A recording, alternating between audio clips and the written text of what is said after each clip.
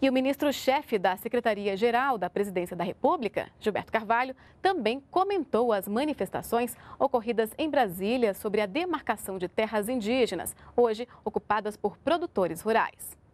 A presidenta já tem, já nos autorizou, tá, tem, tem acordo para que a gente coloque recursos no orçamento para essa questão dessa indenização e, ao mesmo tempo, nós temos que tramitar no Congresso uma nova legislação que permita a gente, com mais facilidade, fazer é, esse tipo de transação. Se não ocorrer isso, esse conflito vai continuar provocando mortes e sofrimento sem fim.